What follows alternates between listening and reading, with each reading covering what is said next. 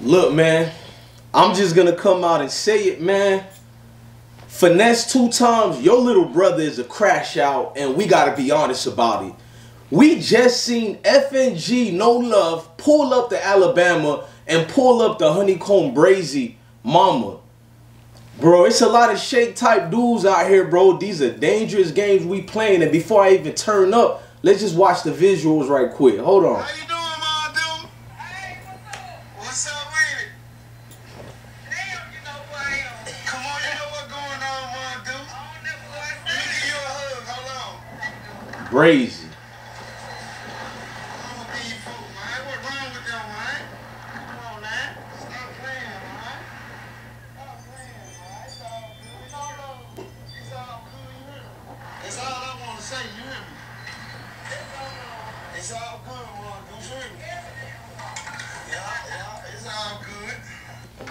Good. Bro, I, I before I even show more clips of this whole circus and the clowns that's being part of the circus, I want to say rest in peace to Mamba. It's a reason I wore this shirt, bruh.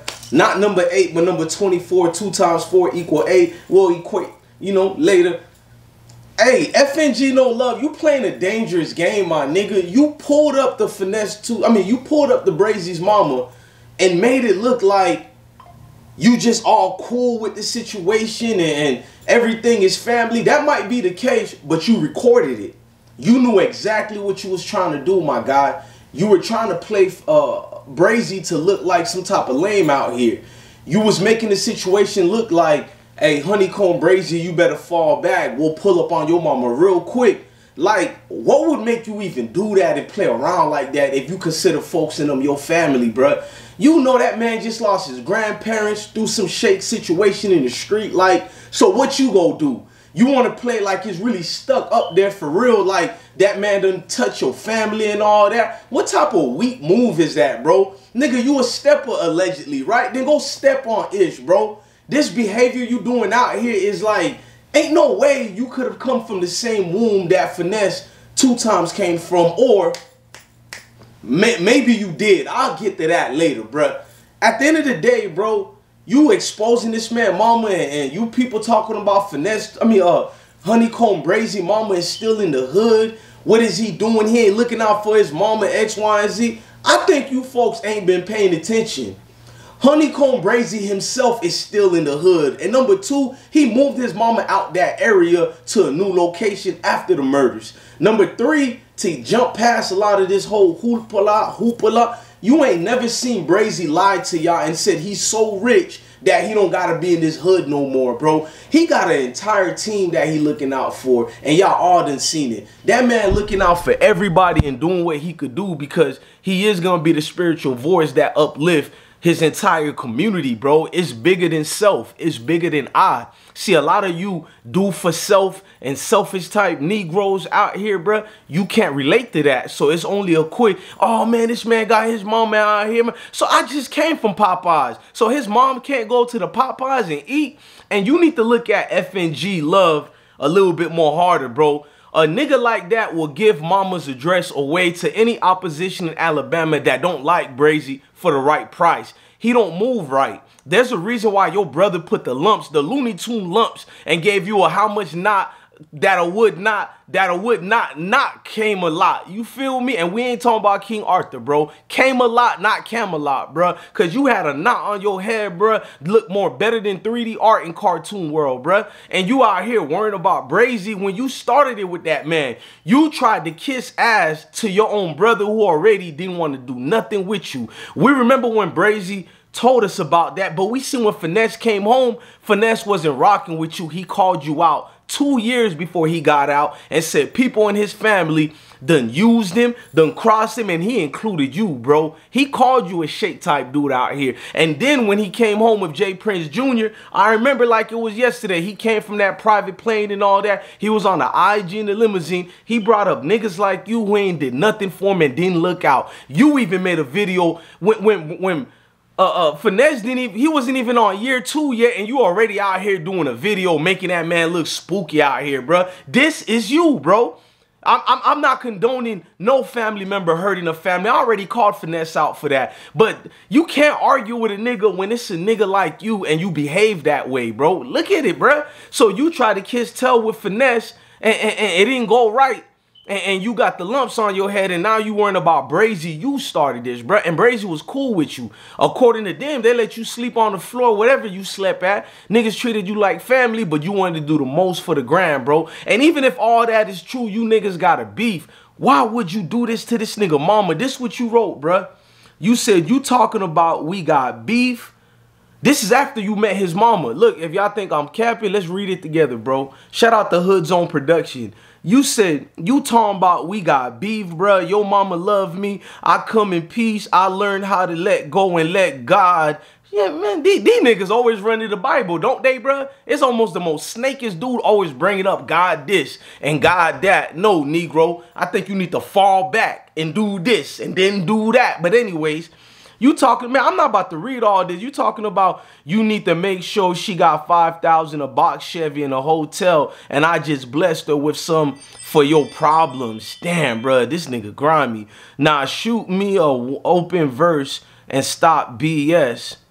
HoneyKomb Brazy, you ain't none but a brother from another mother. 100% the ish. I don't want to hear nothing else about it, bro. It's clear. Look, to the average nigga, you gonna say, you gonna say, man, let me just let y'all listen to him right quick. Remember, remember what I just read.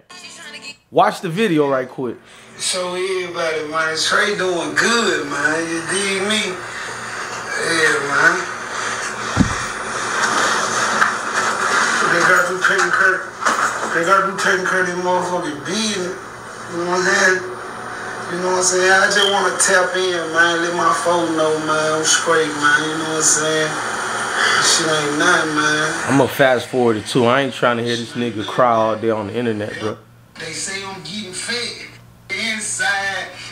He ain't talking about nothing on that. So let me let me go to uh, um the mama mama speaking right quick before I say anything. You feel me? Let me go to um HoneyKomb brazy mama. Y'all feel me? Cause this man, bro, I, I I see a lot of games being played here, bro. It ain't no coming back, bro. It's a lot of shaky situations, bro. Hold on. Yeah, let's go.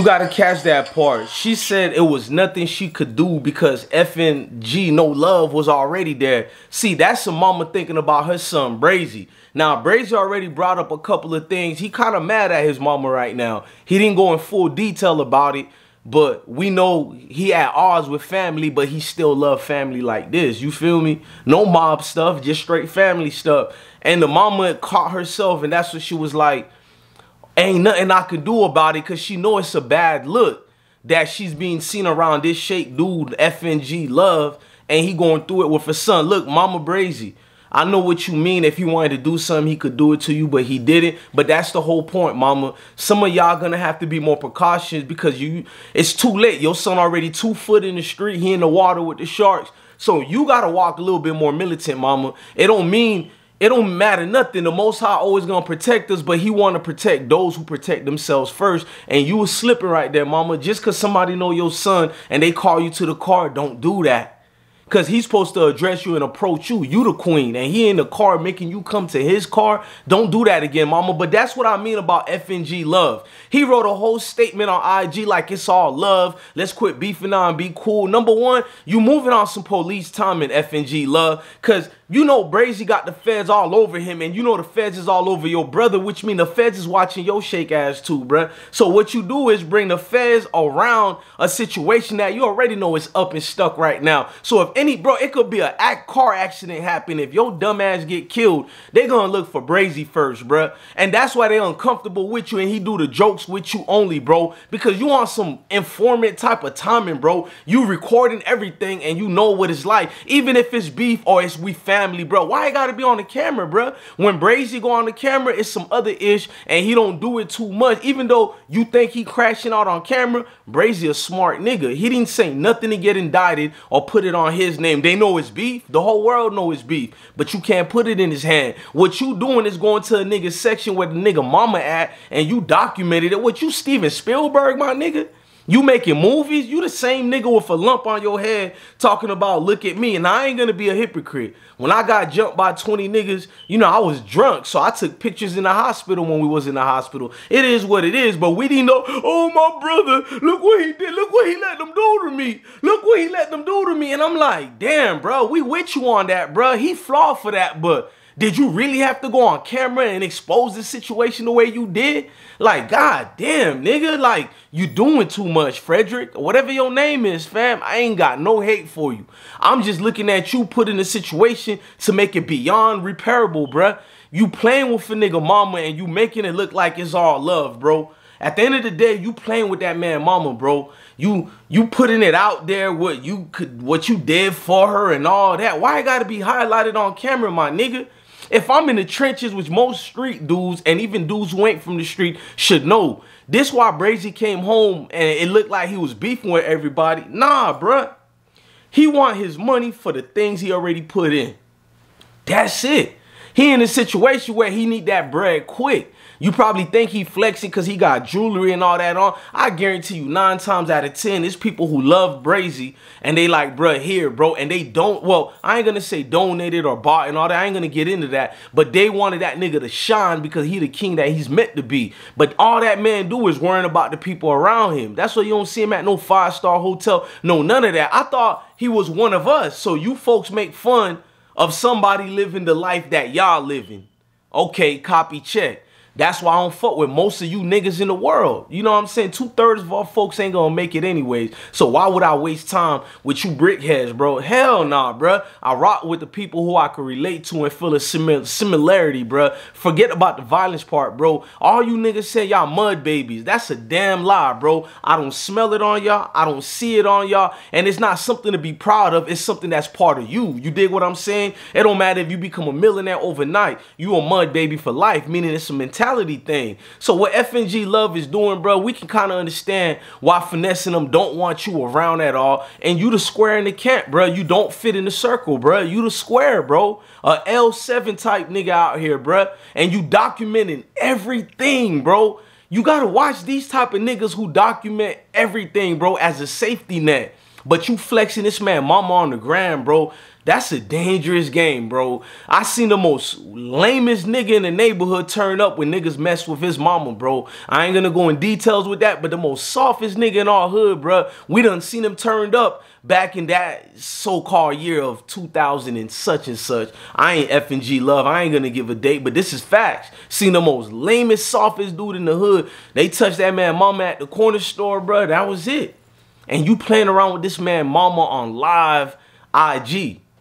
Like it ain't easy for all of us to pull up on a nigga we don't like mama. We all could do it, but we got morals and ethics. Something you don't, my nigga. And that is what they wrote for your story, bro. Goddamn, messing with a nigga mama and we supposed to be cool with that, bro. This is crazy, bro. I don't, I don't know, bro.